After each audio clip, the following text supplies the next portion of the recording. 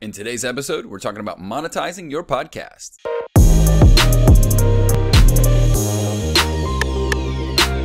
All right, what up, fam? Welcome back to Entrepreneur Hour Podcast and Entrepreneur Hour TV, where we create superhuman entrepreneurs. Today, we're going to talk about a, subject that has come up all the time, and me being and, and being a podcaster. And I hate, I don't always use that term. I always say I'm an entrepreneur with a podcast, but I'll go and claim it. I'm going to own it.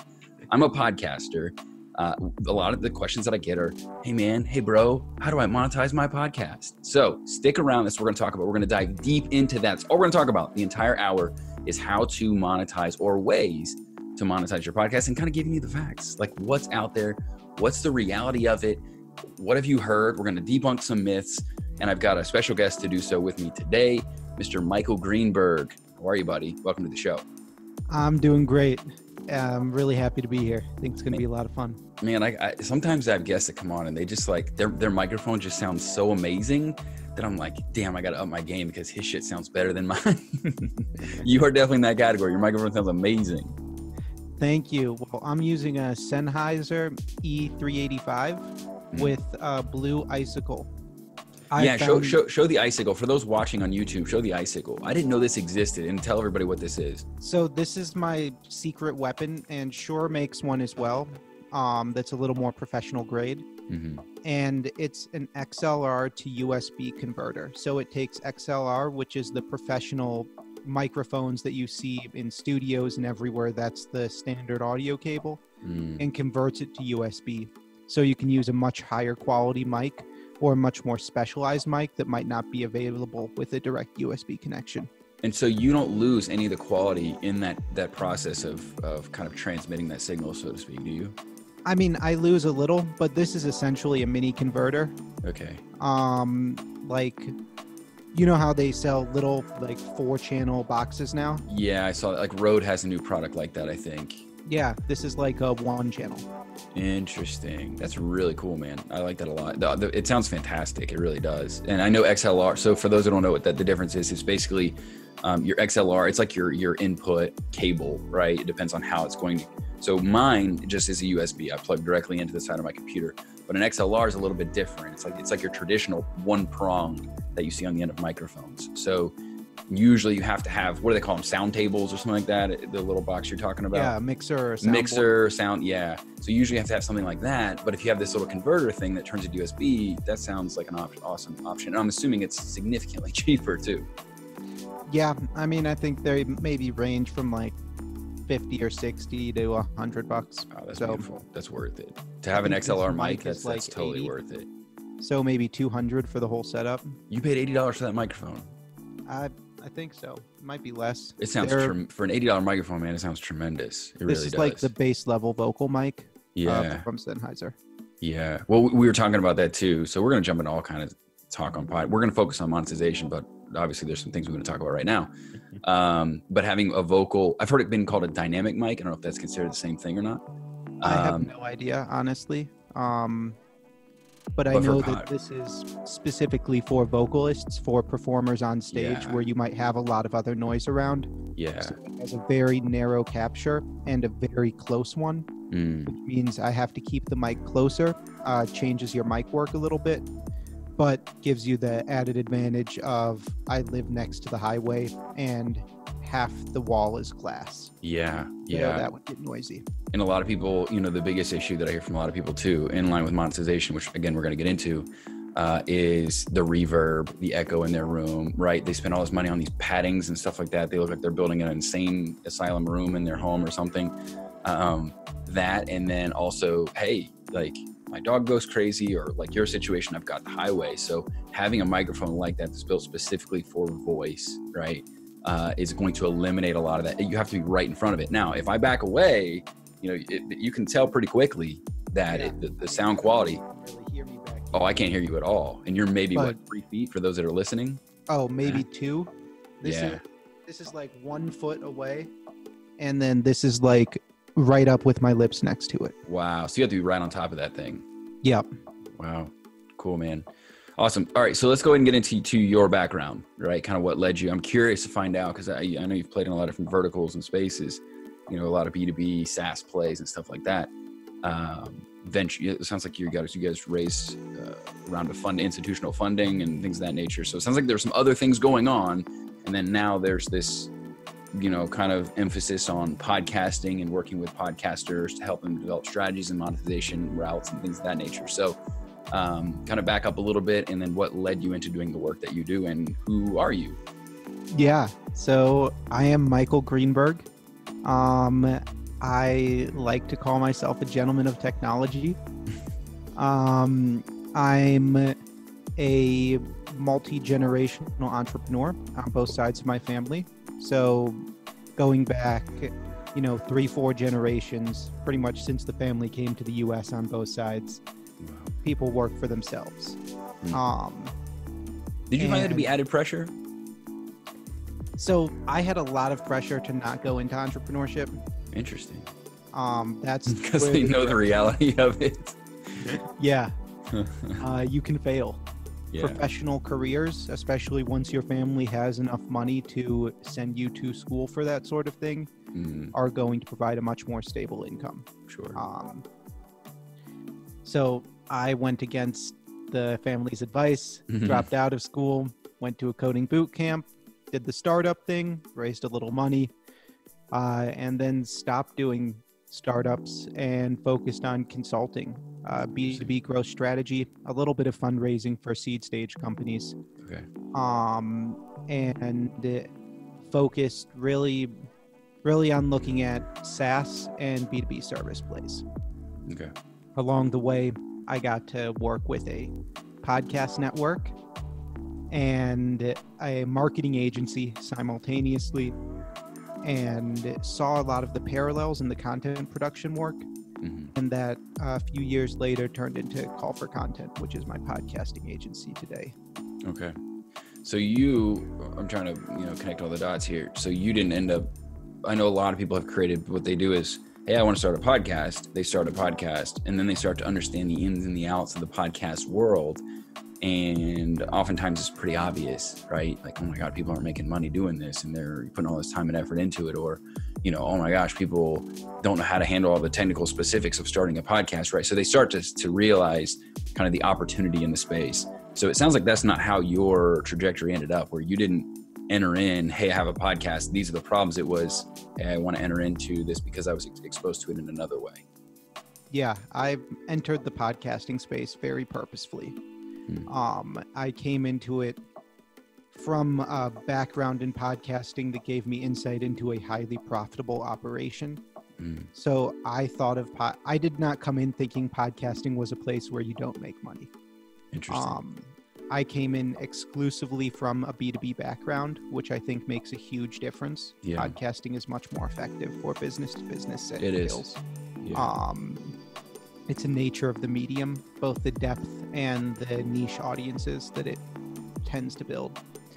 And so when I came into podcasting with Call for Content, we started with podcasting as part of a B2B lead gen strategy.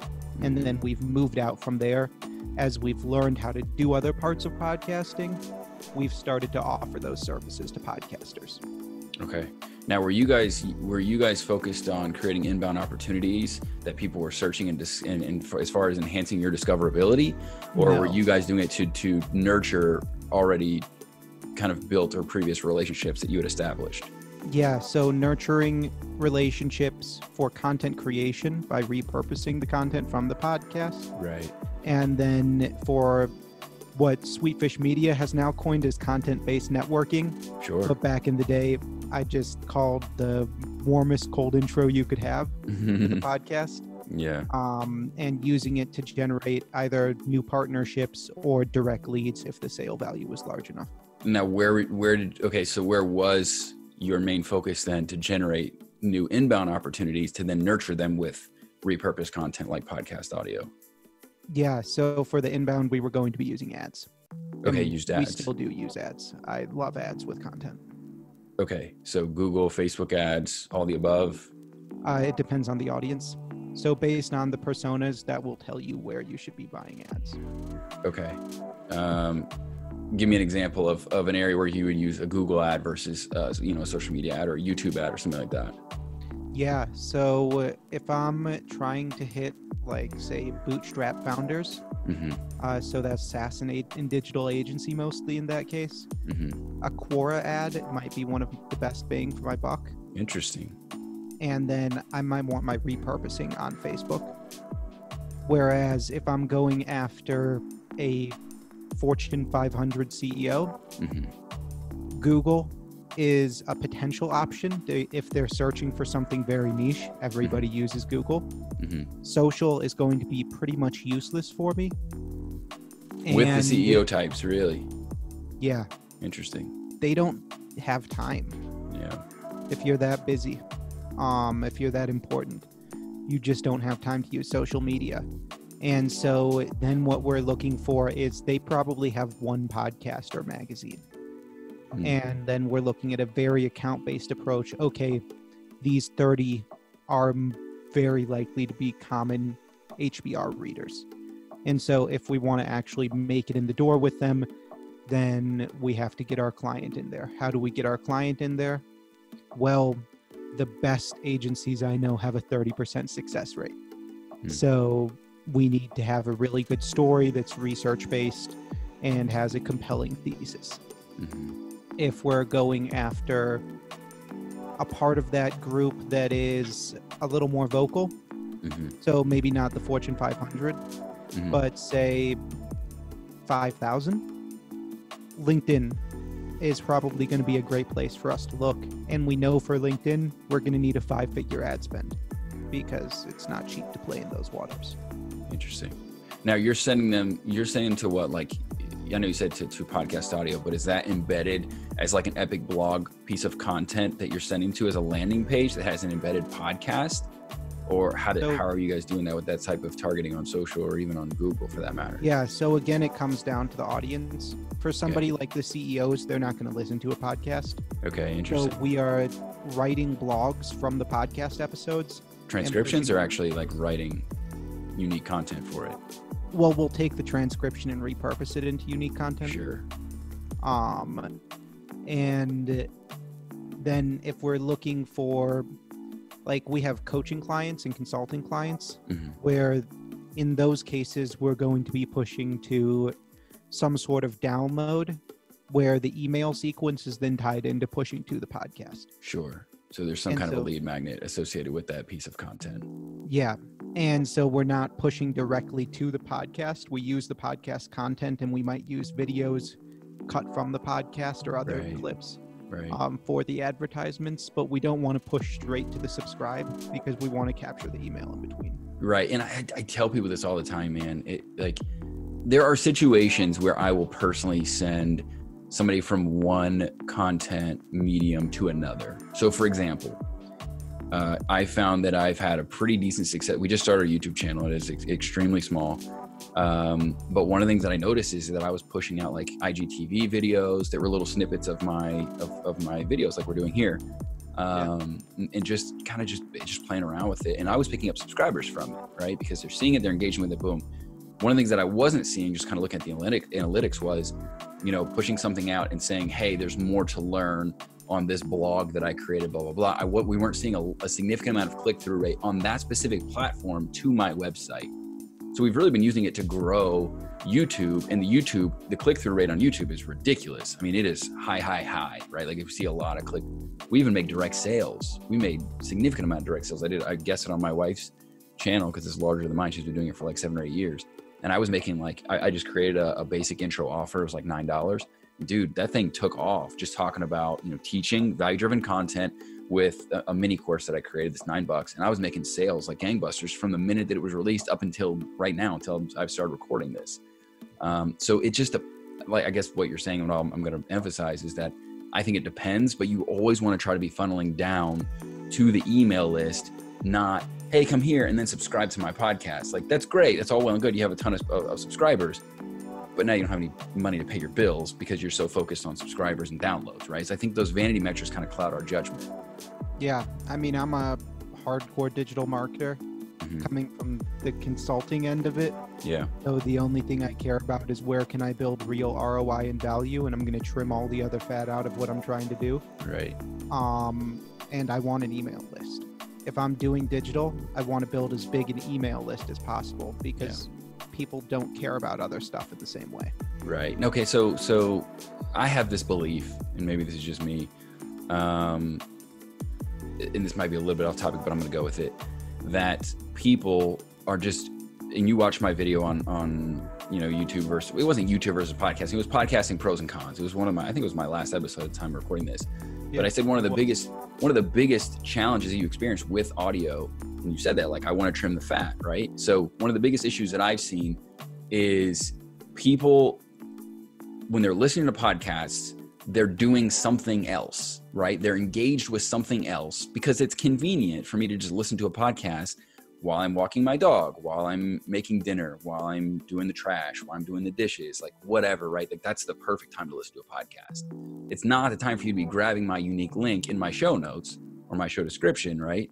And browse over and check out something that I'm offering, even if it sounds amazing, right? Or even if it's an affiliate that I mentioned, like driving for Uber, you might remember down the road that I said something about Uber, but you're not to come back and find my link because you probably were driving at the time that you heard me talk about it.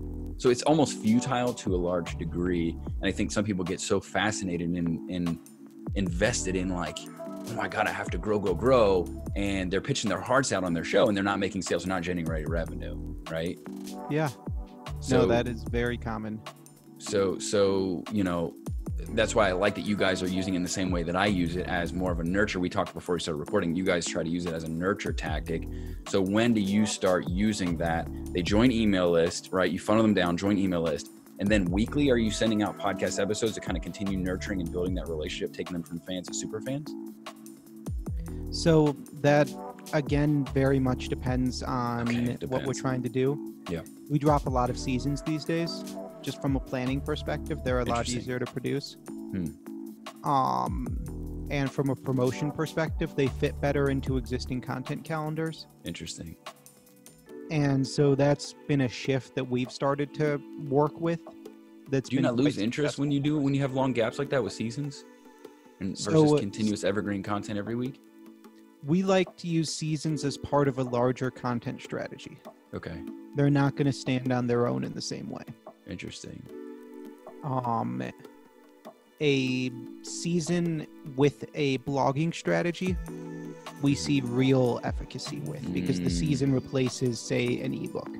Yeah. Um, and the season gives us a lot of content for the blog at the same time. Sure. And so there's there's reasons why we would do a season, Mhm. but it would all we would always be having consistent content published. Interesting. And when you do a Just might not season, so it's on. isolated to whatever you're promoting for that specific person. Exactly. That's, that's fascinating. Yeah. And that sort of season drop is going to really spike the downloads on it, yeah. which a lot of people like because then they can talk about high download numbers. hmm And they're discovering it through the blog content. They're not discovering it likely through, let's say, Apple Podcast at that point, correct? In that specific Correct. example.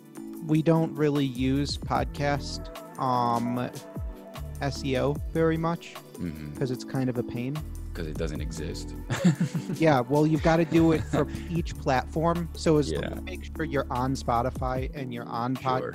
Apple and you're on the others. And then our primary focus is trying to push any new audience to a website first. Interesting.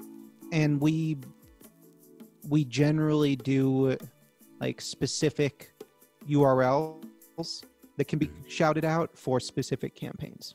Interesting. Now, does that so the slug is different, or you actually have an entirely new URL, right? So, like, so for example, um, I have a book club, and I'm planning on doing a 30 day reading challenge every quarter, right? Because what that effectively does is you join my reading challenge, and then I take you through kind of like what it's like to be a part of my book club, right? Like, kind of the process. It's 100% free, and I teach you kind of methodology or some kind of topic, right?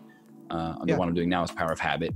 And at the end, you're going to get a little bit of a pitch to join, right? To join my book club or whatever. So the, the URL that I was using was a slug. It was chrismichaelharris.com forward slash challenge. But what I'm thinking about doing is getting learnwithcmh.com and then using that as the shout because that seems to be easier to remember than a slug. Would that be something you would advise? Yeah. Uh, we, for example, I've been on a lot of shows promoting my authority marketing playbook. Mhm. I own authoritymarketingplaybook.com. Jeez. Nice. Um, I'm double checking. I'm pretty sure, certain I've got podcast monetization playbook.com for the same reason. Yeah. But if I don't, I have some other variation that I'll shout out by the end of this episode. Yeah. And there's and people do that with their books all the time. Like Marie Forleo uh, just had everything is figureoutable.com, right? That- Every her book was everything is figureoutable, right? So you see people do it a lot. Authors do that a lot. Um, and I know the slug is easier and it's free, but dude, you can go get those URLs for pretty cheap. And it's so I think people get caught up in the technical aspect of it, but it's so easy. What what you're a developer on that? What is it called? Pointing it to once you buy it? Forwarding. Forwarding. Thank you. Yeah, so I've got my. Go. So I it turned out I had forgotten to set up the forwarding on podcastmonetizationplaybook.com. Okay. Though I did just now. It took four clicks after buying, having bought the domain at some point in the past. Yeah. Super easy. Um, yeah, and and it's good to go. There's nothing else that has to be done. As long as you know the URL that you're sending it to, you're forwarding it to, it's done. Yeah, and that makes a huge difference in your CTR interesting. um, when it comes to podcasting. On podcasting, it does. Just in all sorts of podcasting. Yeah. Interesting. Interesting. That's Wow. how, if you want to know how authors sell books on podcasts, Mhm. that's one of the main reasons that they can. Interesting. Wow. Okay, so let's talk about some of the, uh, and we've, we've really just jumped into the specifics, and I'm glad I want to keep doing that because I like to have depth, and I think a lot of people have asked a lot of questions, so this gives them a lot to chew on, maybe more so than they thought they were going to get already in the first 26 minutes of this discussion, not even. Um, but let's talk about some of the don'ts, right? We talked about, which was, by the way, completely different that you guys are approaching it the way that you are because I'm running around producing two a week, right? Uh, Yep. And so it, I, I maybe in, in your eyes might be overdoing it, right? Um, Not quite. okay, If you want to grow listenership, if that's your sure. primary If that's goal, your goal, then consistency and the number uh, per week is going to matter. sure, The more you publish, the faster you'll grow. sure. And, and, and kind of on the other end of that, uh, we use our direct podcast every week. I'm nurturing my email list with new content, and I'm giving them. Usually, it's something that I feel like I need to teach. Uh, and then, so what I'll do is I'll write a pretty lengthy email about that specific topic, right? So, value driven content in my email newsletter. Then, hey, if you want to watch or listen to this, boom, that's inserted there as well, right?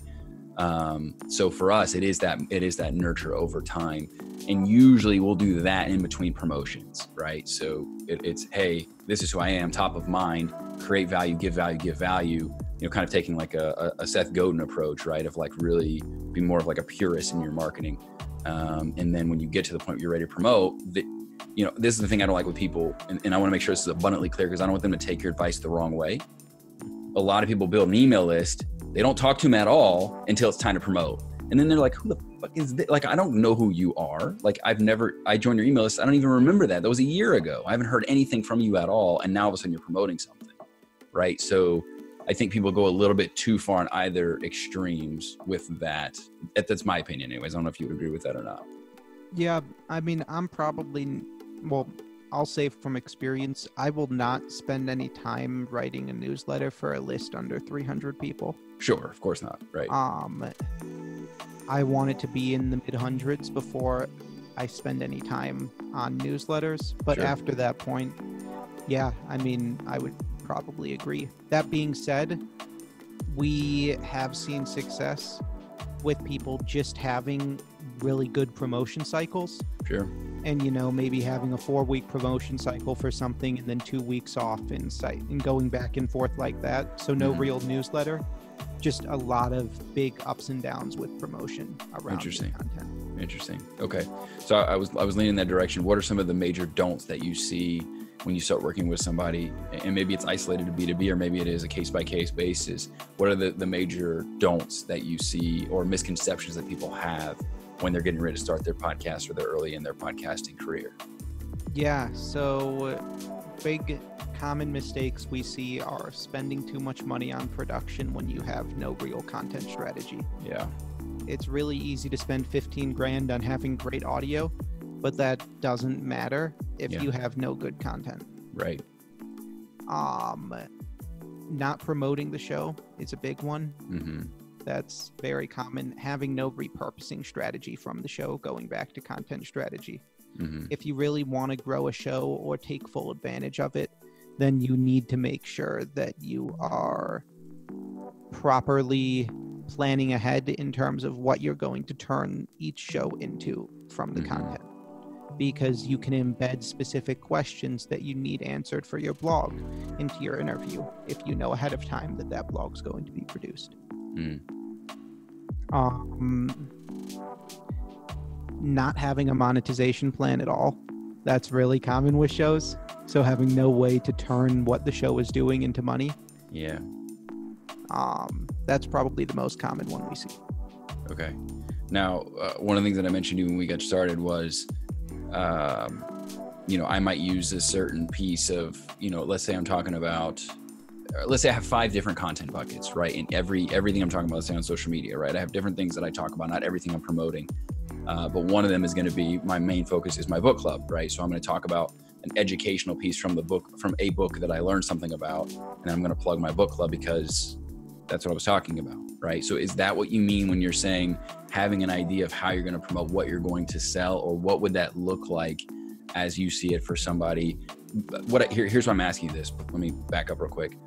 I don't want somebody to think that just because they drop their link in their intro bumper that that's they're promoting right like that's their monetization strategy because i think it needs to be a little more in depth than that i think they need to take it you know even even treat sometimes some episodes um like like like kind of like a webinar right like this is what i'm teaching you this is what i this is what i offer this is how i do it especially in the b2b space right kind of showing off and flexing a little bit uh Yeah, that's not the and right in the word per B2C se space. yeah right and the, yeah Um, no, Sure. I, I, I think flexing is not the wrong word. okay Um, part of what we do when we're building the first episodes for a client is Mhm. make sure we put case studies in. sure And those case study episodes are going to have retargeting set up. Hmm and that retargeting is going to be focused on selling the product that it's case studying. right Okay. And so we we like to see a business around the podcast because a podcast in itself can be a business, yeah but then you need a whole marketing plan for the podcast too. We work with podcast networks. The work we do for them is very different than the work we do for single shows. interesting in what way Podcast networks need to grow audience in a very different way than shows do. Mm, because they're focused on Their advertising dollars. monetization channels are different. Okay. They know ads are part of their monetization. Okay. They know events are likely going to be part of their monetization. Okay. Uh, they're really focused on broader markets so they can find scalability in a way that smaller, you know, single host shows or really small networks of 2 Mhm. three shows can operate very differently when they have that ability to stay very niche. Hmm. And so for big networks, even the way we look at them is as a bunch of small networks that are focused on a specific demographic. And so they've got the six shows that touch all of their interests. Hmm. Okay. That makes sense. All right. So, what are some of the other things that you see then people are doing wrong? That was a good one. Yeah. Um I mean I not promoting your show is a big one. Like social media isn't content promotion nine out of ten times. Hmm. I I don't care if you're posting about it, but unless you're sticking a couple hours a week or more into dedicated growing your following, and so that means when you're small on something like Instagram, sitting down and liking and following a lot of people so they follow you back, and really boosting your numbers up, uh, so you have the reach you need. That sort of thing takes effort. Um, appearing on podcasts is a great way to talk about your podcast Mhm. and get more podcast listeners because audio transitions to audio better than many other formats. Hmm. Uh, just like video transitions to video better. yeah. And these, like having a promotion strategy, is missing for most people. And that's not just podcasters, that's all content creators. Sure. No, I totally agree. I think Um, YouTube is even worse in many cases. Yeah, 60% of content creation is promotion. Hmm. And I think I think the big misconception a lot of people have. I'm glad you say that because I think the big the big misconception people have is, well, I already said that, right? Because it feels it's so unorthodox, or it feels so so against just our human nature or tendencies to like say things over and over and over and plug and plug. Like we think that everyone hears us, but in reality, no one heard us, right? And this was, I'll give an example. I'm going to validate my statement that I just made.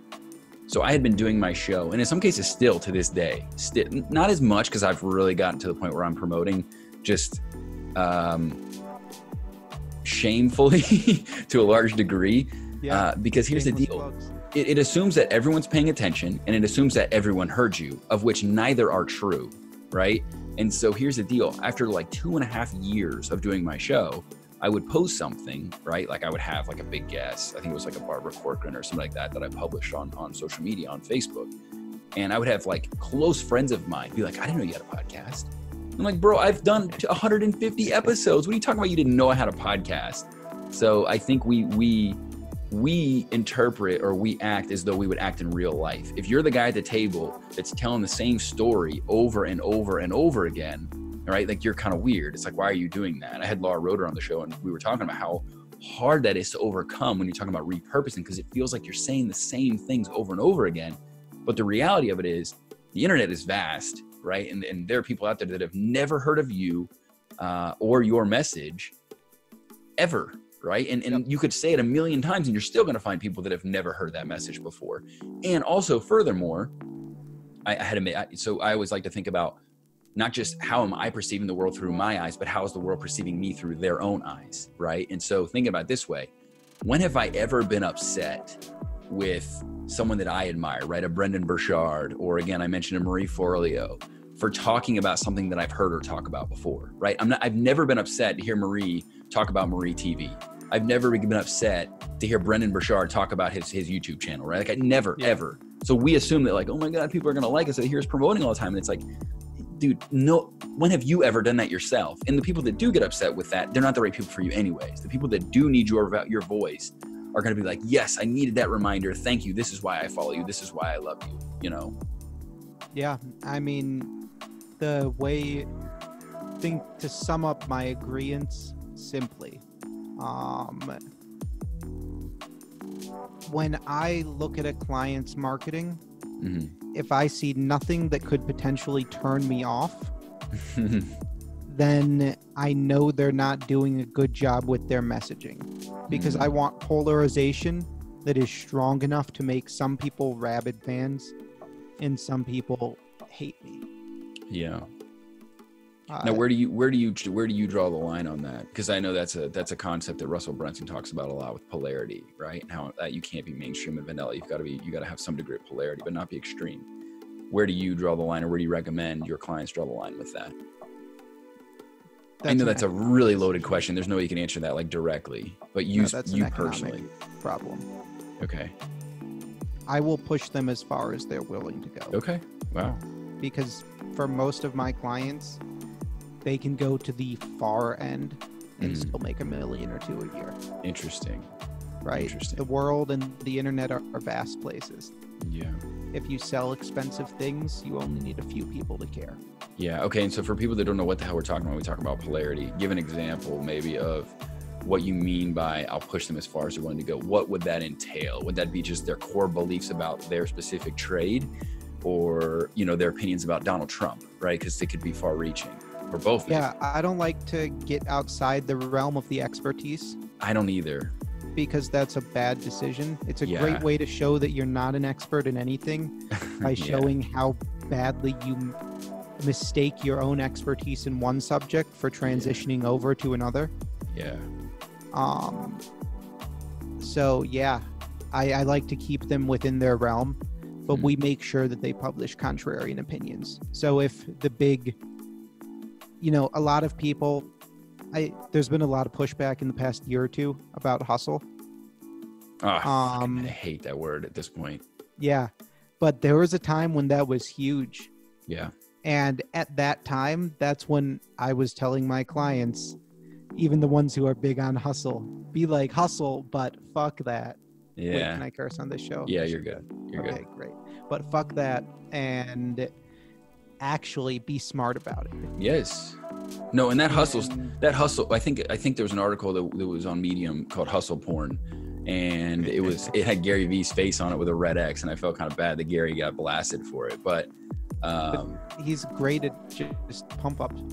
A lot of his content is very pump up. He's a smart guy and he gives Yes. great advice, but he also puts out a lot of. My favorite guy that I to hate to really uh, shit on for content production is Neil Patel. okay, I haven't heard that one before. But go ahead. Yeah. Um, I mean, he puts out his freshest, newest content is normally pretty okay, Uh huh. but then because most of the stuff never gets updated, it's bad. Like a Mm. lot of it is just outdated? great content.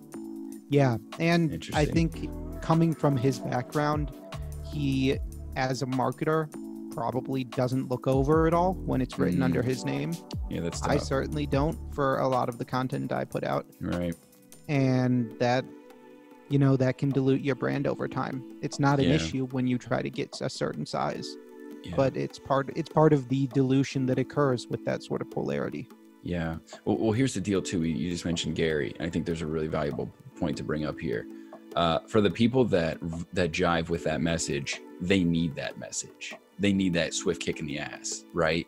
For people that are out already crushing it, to use his words quite literally, that they don't need that message. They need to be more calculated and not kill themselves working 20 hours a day because they're already hustling and grinding, right? So I think it's to your point about there's millions of people out there. There's there are millions of people out there that need your specific message, and I think sometimes we just dilute that trying to appease everybody versus just being like, "This is who I am." And I think the other thing too is when you are so convicted about something and you are building a podcast around a business, those are the people that want to do business with you because they have an alignment with what I feel to be a tribe that are like them, right? Seth Godin talks about people like us, right? And so if they can align themselves with you because you're not being vanilla and you're standing with your convictions, hey, I love this guy. I love that he stands for what he believes in. I don't agree with Grant Cardone uh, to, in, a, in a lot of ways. And I've, Grant's been on my show. I love you, Grant. Uh, He's been on my show. But he everything to him is just work harder, work harder. Bro, I, like I, I almost fucking killed myself working harder. Like that's not the answer for me, right? It's to be more strategic. And that's fine. It's worked for him. Other people need that message. But I think some of his ideologies are antiquated. That's my opinion. Right. So I think that there and this is where you get into people thinking like, oh, the space is saturated. No, no, no, no, no. Like there's never there's only been one you. Thus there's a market for what your message is. Right. And that's that's all you have to compare yourself to. But if you do try to be like everybody else, you're right. It is saturated. yeah uh, that's a very good way to put it um, i think in my experience you can build a business especially in b2b on an audience size of 10000 Interesting. 10,000 a month downloads? no just 10000 total Total downloads well or total subscribers? none of those things None of those things. Okay. so b2b Uh-huh. total potential audience size Okay, I so see. I from see. a potential accounts perspective for your business whatever So so social media accounts, email lists, LinkedIn, etc. And downloads Well, included. when i say accounts i mean like businesses to sell to okay. um so if there's if you get niche enough if you get targeted enough that there's only you know 5000 hmm potential clients I see. if your average sale size is in the 100000 a year mm-hmm. you're still good Yeah, you're good. Yeah, you're good. All right. So we covered that. Uh, any others that you see? I know there's a lot of confusion around advertising. People are like, "Oh, I just need to get more downloads so I can get some some sponsors." Right? I yeah, ads are never going to pay your bills Right. simple Right. So no, Um, no, no, nothing more, more to say on that then, huh? yeah like unless you have if you have 10,000 plus come talk to me and I'll tell you if you can make money with that because there's a pretty good chance your audience is worthless Interesting. And that's 10,000 downloads a month. They come talk to you. Otherwise, not worth it. yeah Yeah. um in b2b you can get by with 2000 because you're working like if you have a niche b2b audience or a niche b2c audience of high value hmm um you can you can find a sponsor for that audience and make some decent money with it but it's Okay. an integrated campaign it's a real partnership and it's not going to be just an ad sale. Yeah, I was gonna say they're more performance driven. Can you convert things for them, and thus you might as well sell your own stuff at that point, because you're gonna take a pretty small piece of the pie. Um, yeah, I mean, you might not want to sell your own stuff okay. uh, for any of a number of reasons, and Mhm. if that's the case, there's an avenue there. Like I know of a couple networks that have built themselves Mhm. on selling six-figure sponsorships for their shows before they launch. Interesting. because they're very niche shows with very niche audiences. Um, okay, what would an example of one of those be? so one of those is oil and gas. Okay. They might, you know, if they get a hundred thousand downloads an episode, that's fantastic. But though that's going to be worldwide, Mm. um, and that that might be like every get oil. They might have a show for oil and gas executives, and every oil and gas executive listens to that show. Jesus, that because is super it's niche. a news show that interviews oil and gas executives that specialize in the Permian Basin, which is one of the big oil and gas reserves in Texas. Mm. And so that's a very niche topic show produced by for a very niche audience where they can get a large amount of money up front Mm. because Red Wing Boots, who makes the boot that every guy on every oil rig uses, is gonna want to be there and IBM with their Watson technology is going to want to be there, both for the same audience. Interesting. And so they'll go, okay, so this is the part people are confused about. And maybe it's the exact same. People talk to me about, oh, affiliate sponsors. I'm like, dude, it was the easiest thing I've ever done. It took me five minutes. You just Google Uber affiliate program, and there it is, and you apply. Right now, they have to approve you, right? They have to look at what you're trying to do, and you have to send them links and stuff like that. But for the most part, it's it's way more simplistic than a lot of people make it out to be. What you're talking about, you know, them paying hundred thousand dollars before you even publish an episode. How does that look in terms of sponsors? Your more traditional sponsors versus something like an affiliate marketing sponsor. So that's coming and saying we have this existing audience, Mhm. or we have built audiences in the past, Mhm. and these are our projections with this amount of sponsorship on who we're going to reach over this time period. Okay. This is the demographic we're targeting. We see it is also your demographic, and you spend money here. Okay. uh, would you be interested in spending some of that money with us to get a good deal on a new potential channel? But is this happening via? Or is this an email that you send out yeah, to, or do you need to have be an existing email, This could be a call. Uh, this could be a LinkedIn message. This is us building a list of probably 20 or 30 different potential sponsors who would be Uh-huh. good fits and who are spending money, Okay. and then reaching out on an individual basis to the correct brand manager or marketing manager or VP or CMO at each one. Are they going to want to see? Because obviously anybody could say, and people really wouldn't know, even if they're being honest, even if they're just bullshitting in the dark and shooting, you know, like, hey, yeah, I'm going to have hundred thousand downloads. You know, like that sounds kind of like a wish, not a not a actual plan. Um, yeah, they have there- to see a track record. Okay, so there, there has to be some kind of track record. So I would imagine that in many cases, this can't be a new show, or they have a subsizable email list already from something else they've been doing and they're launching. Let's say uh, my buddy works at Dell, right? So let's say Dell launched a podcast. Uh, his was internal. It was like, you know, for company morale and stuff like that. But let's assume that it wasn't. Let's assume that it was outbound, right? The world was going to be able to listen to Dell's podcast. Dell is Dell, right? Like Yeah. they are who they are, right? And they have they have a, they have a lot of brand clout. So I would imagine in that situation, they could start a podcast, reach out, and many people would be like, "Hell yeah, it's Dell." They have that proven track record, right? So if you are a solo, you know, host, so to speak, probably not the avenue you'd want to go, even if it was a potential opportunity, because you're not going to have the track record, right? If you have those relationships, you're not going to have the track record. They're probably not going to pay you anything because you have nothing to show for it. Exactly. Uh, but Interesting. here's an here's a rare example that we're working on that breaks that mold. Okay. Um, it's a solo host show, never done a podcast before, very little social media presence, but he owns a social media agency. He's Instagram verified, and um, sorry, I just had to move that tape. Um, and he's interviewing professional athletes or former professional athletes, so people who have large followings already.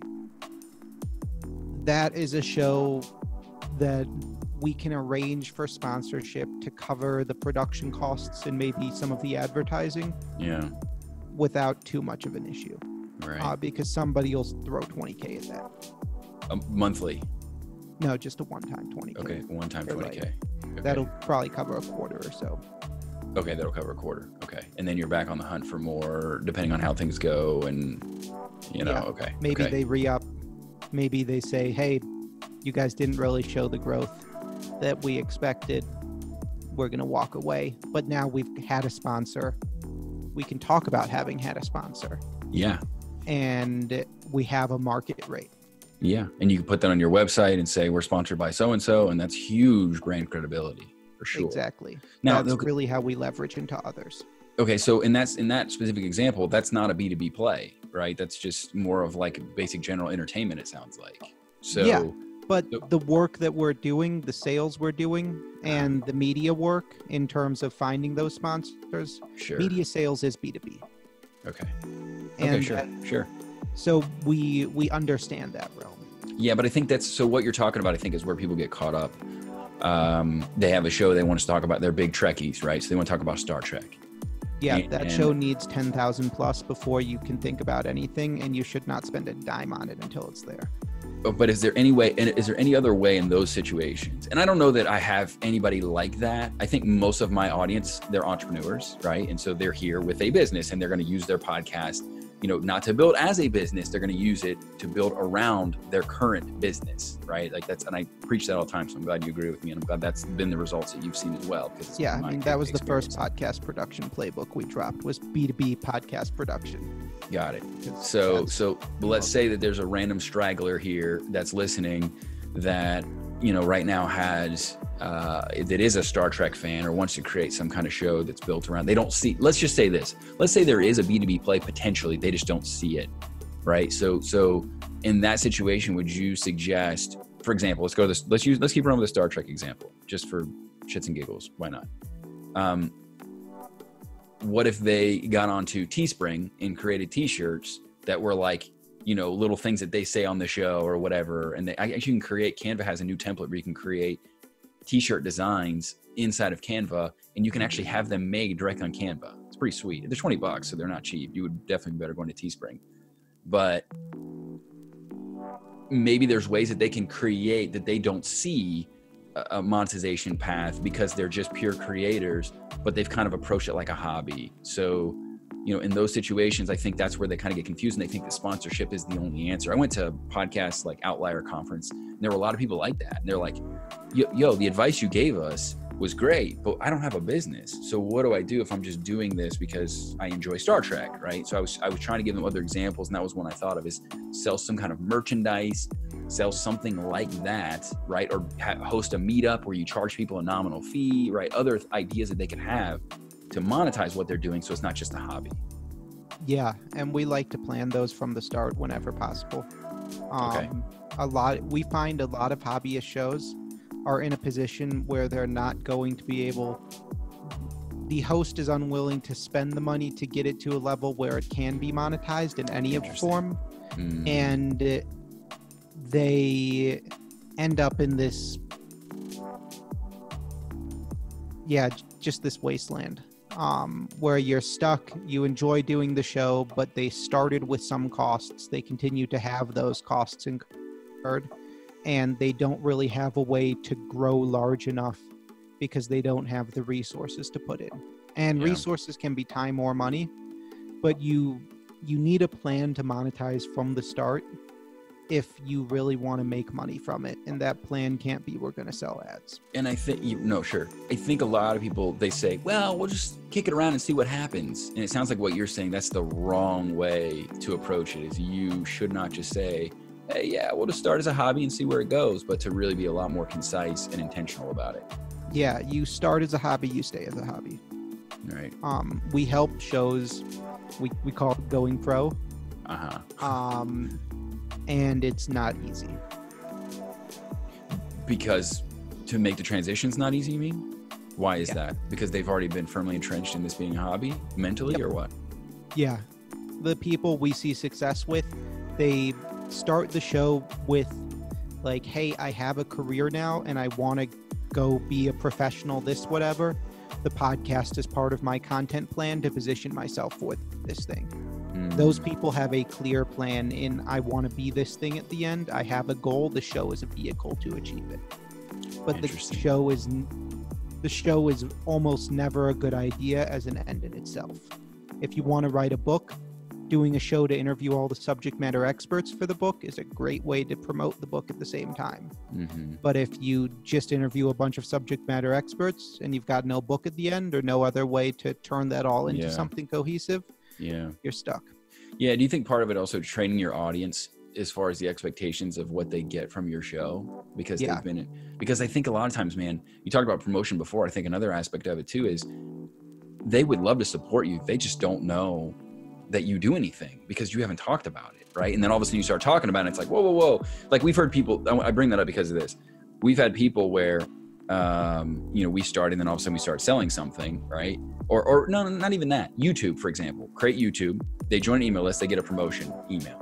They're like, it's they're like shunning that person. This is a few bad eggs, right? And most people are not this way, but sometimes people will be like, I really appreciated when you were just putting out value. Like like the expectation is that you should just put stuff out for free, that you shouldn't sell anything, right? And, and Marie Yeah. Forleo talks about that. I've mentioned her a couple times now. She talks about people get really pissed at her when she sells B School every February because they're so accustomed to Marie TV just being free, right? So people get like almost repulsed and they're like, "Oh, I'll never listen to this again. This was supposed to be free." And blah blah blah. It's like I don't know why we have that expectation, right? But it, but sometimes people do have that expectation. I think you have to retrain them and understand that they just don't get that, right? So so I would agree with what you're saying. I think that's tough. Yeah. I mean, I come from technology. We build apps that take your data and sell it for money, hmm right? You get free stuff. You get the free stuff. All We're selling it. Yeah. Yeah. What about Patreon? Eh.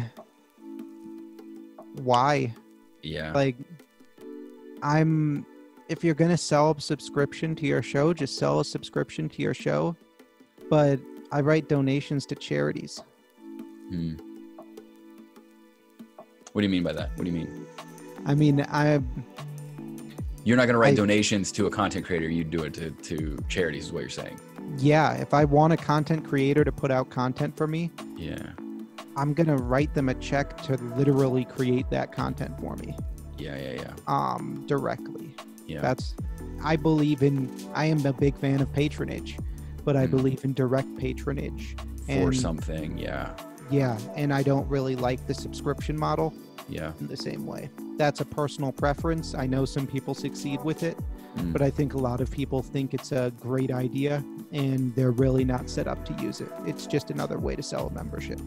Well, the other thing too, I, I'm I'm a patron for um, for this awesome YouTube channel, uh, and they have like almost. I was telling somebody this because because one of my students was was um, talking about how she was like, well, I could just get on Patreon, right? Because her content is kind of in that same vein of like, okay, but I, I don't sell anything directly from what I'm providing, but it, it might be good for me to build an audience that I would sell something directly at some point. That's kind of the, the, the methodology or the thought process there. Um, and I think one of the big things that there's a huge misconception about is the sheer figures that you have to have to get enough patrons on Patreon to kind of back in the same vein that we talked about before with advertise with traditional advertisers, right? It's like these guys have almost I, I want to say like 2.8 or 1.8 million. It's in the millions, whatever it is. And bro, they're struggling to get like 400 patrons, and the options are one dollar, five dollars, and like thirty dollars, and they're they're like really struggling. And they they announced that to produce one of their episodes, um, that cost them like forty thousand dollars because these are these are um, these are I'm a big comic book fan, and these are like you know these live action renditions of like Wolverine versus Wonder Woman or whatever, and it's like really professionally done. And apparently, it's highly expensive for them to produce these things. They've been doing it on their own nickel. And I saw I was like, surely people are going to commit on on Patreon because they have a raving fan base. And I looked, and I, I became a patron, and I looked, and it was like 357 people. It's like, Yeah. wow, I mean, I'd gate that content right off the bat, right? If I'm putting, if you're putting five figures into your production costs, yeah, uh, there should be some sort of gate.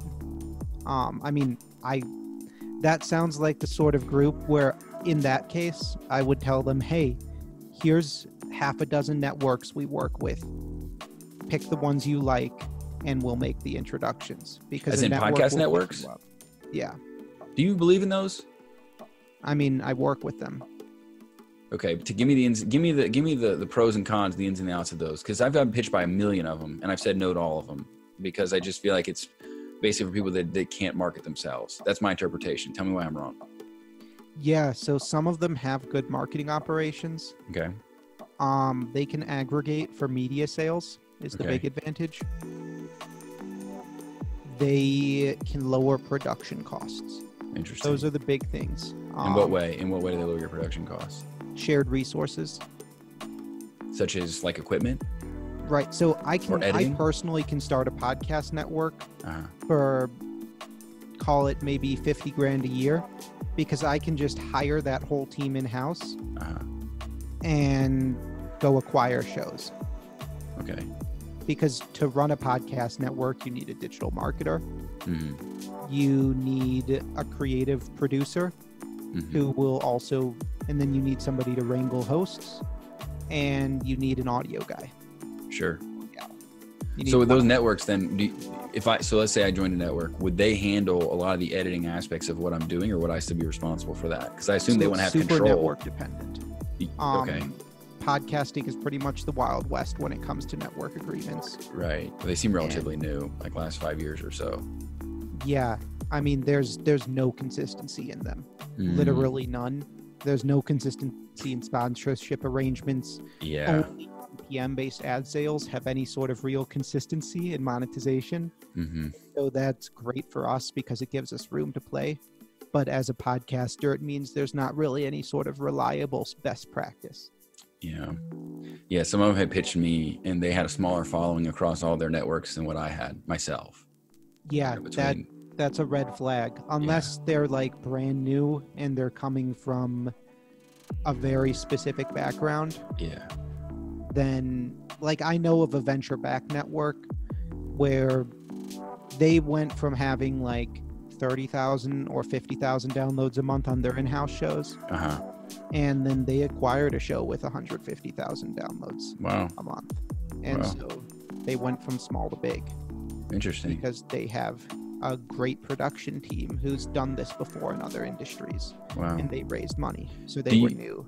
do you think that's the future? Is trending towards you know kind of like an out to me that feels very outdated to me this was It's my this was my interpretation. I said you're taking something new and beautiful in, in, in this digital space that we now live in and you're trying to cram it back in the radio box. That was my interpretation of it. Yeah i mean i think big media is a corrupting force in most Mhm. places that it goes. Yeah but it will go into every form of media and exist. Podcasting simply lends itself better to niche audiences.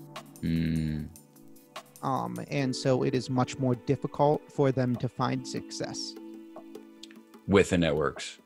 Yeah. Yeah, that makes sense. Because you know that is tough, especially you know having a show where I talk about all these various things, right? Like I'm probably a good fit for them, but what one of the things that we found is I might have 10 episodes in between an episode where it's somebody who's following is looking for let's say podcasting news or updates or teaching or what have you. But it's been I'm, in the meantime I've talked about health and wellness and meditation and sales and email lists and everything like that. You know what I mean? So I've had to kind of like really focus on okay, what am I going to be known for? What do people come to me to listen for? And I don't think people actually go through strategically and think about that. But from a network don't. standpoint, from a network They standpoint, they don't want you to be super niche, right? So so you kind of have to make that decision about what am I going to be with this thing. Yeah. And, you know, networks, when we come in and we look at them, like I mentioned before, it's a very different process. Mhm. Um, when we look at individual shows, we're looking to find one niche audience we can monetize with. When we're looking for networks, we're looking Mm. for generalized demographics. We can build a community of shows around and capture as much of their time Sure. as possible. Sure. Now, how many? So I didn't ask you this when you were talking about the the size. You said ten thousand accounts uh, is what somebody needs to create. You know, a, a, I don't know what revenue milestone you would use at that point. Are we talking six figures at that point? Or we, yeah, and like it would all be a getting case. to mid six figures with that should be pretty simple. Okay, with matter of 10,000. time and grind. Nice. Uh, what what have you seen to be? Again, I know this is all case by case, man. Um, but I think people's expectations, right? So you have you have two ends of the spectrum. you have people that think that they should monetize immediately, right? And like, hey, like I need to if I'm not making 10 grand, you know, by the first month, uh, I'm done with this, right? Like I'm not going to pursue it. And then you have people on the other end that are martyrs, right? They're just okay. Well, at some point, that light bulb's gonna gonna gonna you know turn on, right? The light's gonna switch, and I'm gonna start making money and monetizing this thing.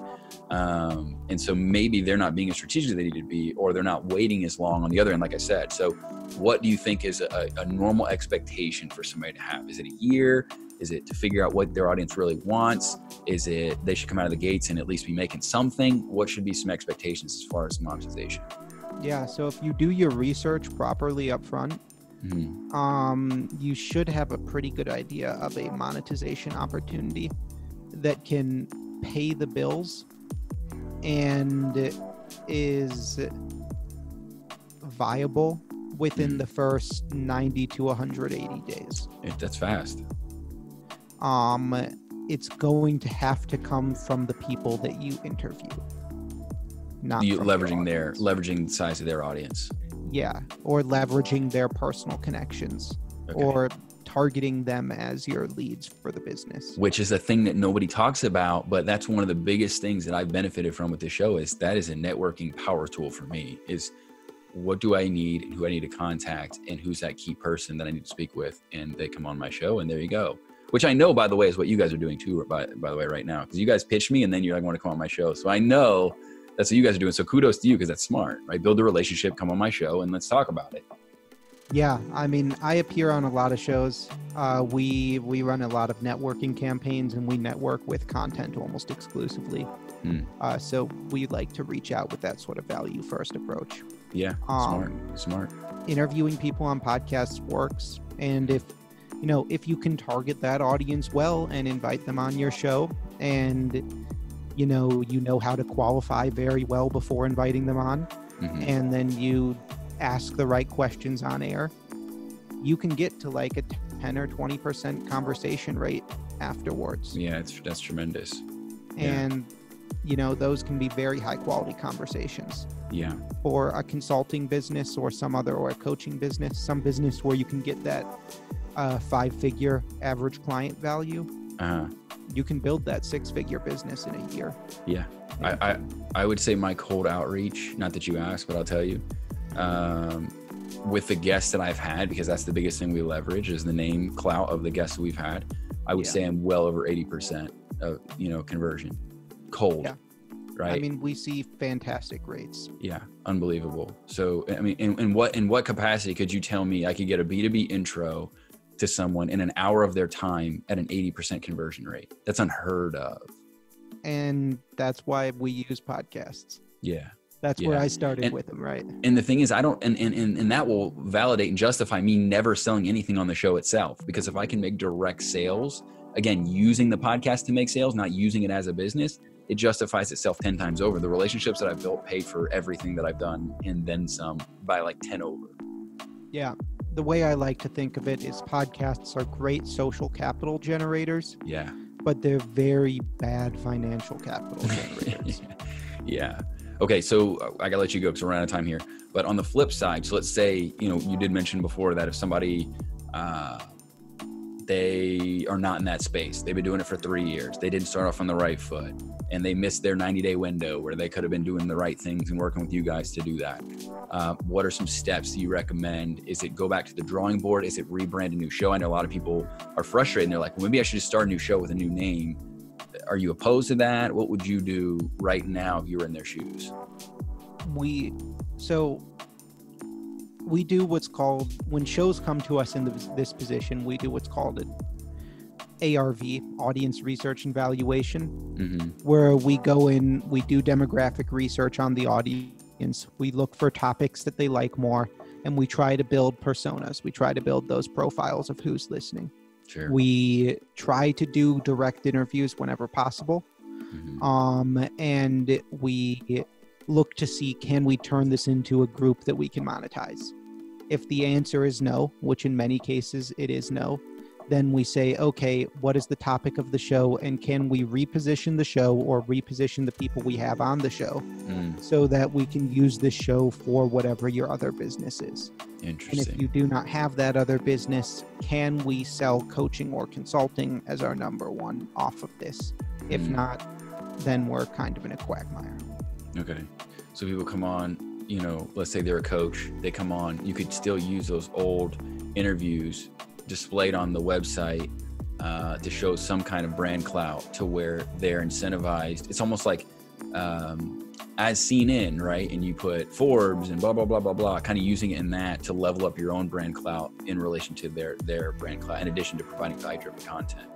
Yep. And we'll probably take a look at the backlog and take a look at where the host wants to go within their own career. Yeah. Um, and we'll probably say, okay, you've got enough episodes. If they've been doing it for two or three years, yeah.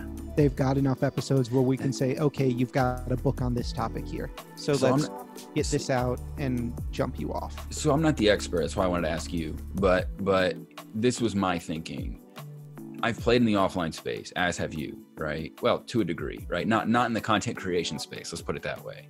Because everything in this day and age, there's no such thing as an offline business. Everybody's online in some capacity. Yeah.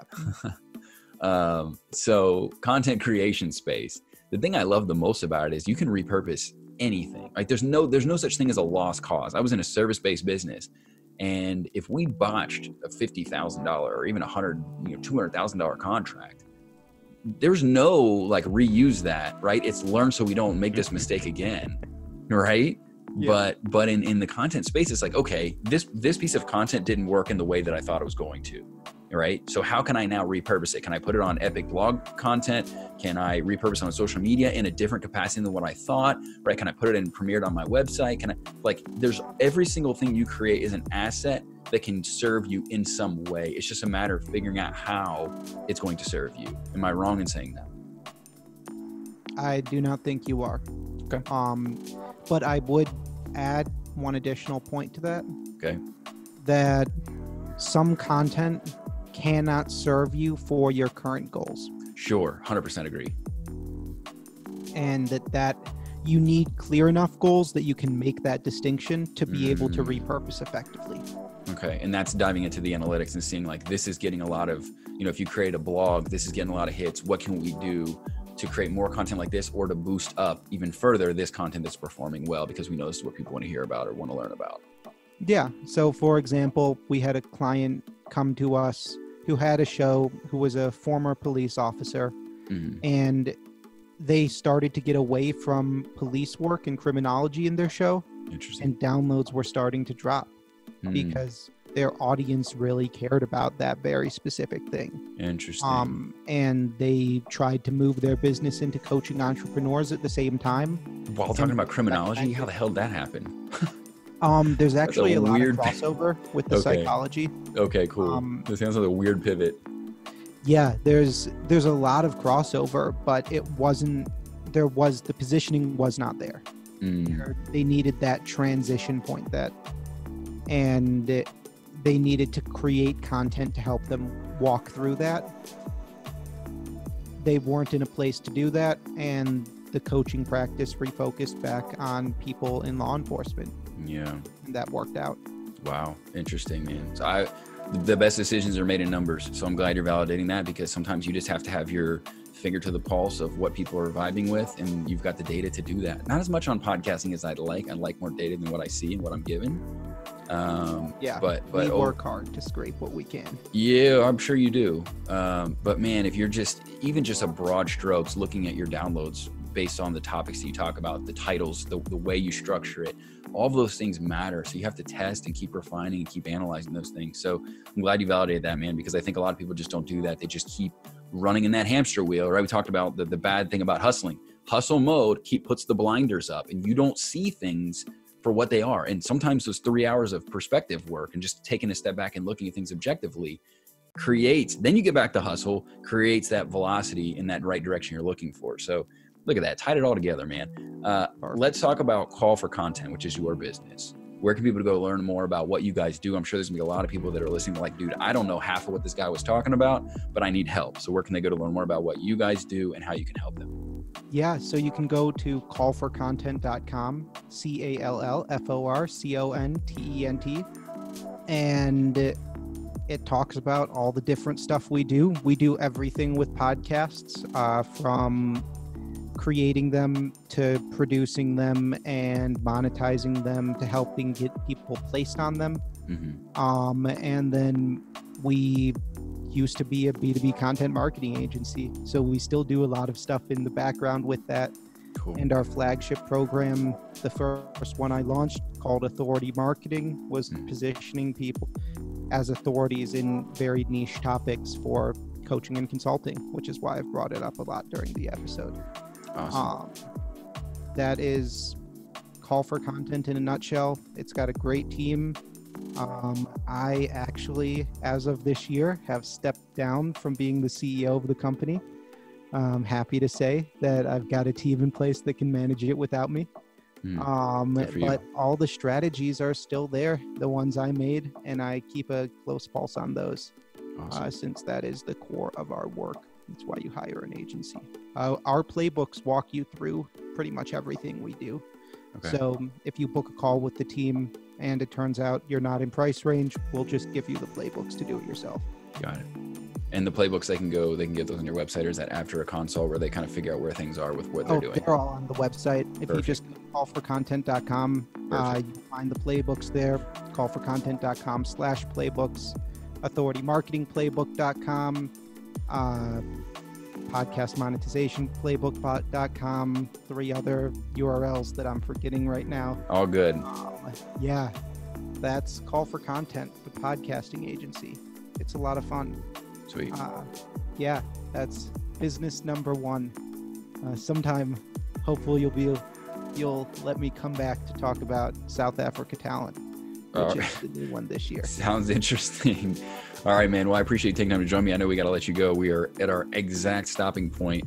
Uh, so I'll let you go. But thanks so much for sharing all of your knowledge and wisdom with my audience. Hope you guys got a lot of value out of that. A lot more that we could have talked about. And maybe we will have a second go around. We can talk more about that specifically and other interests that you have, Michael. But thanks so much.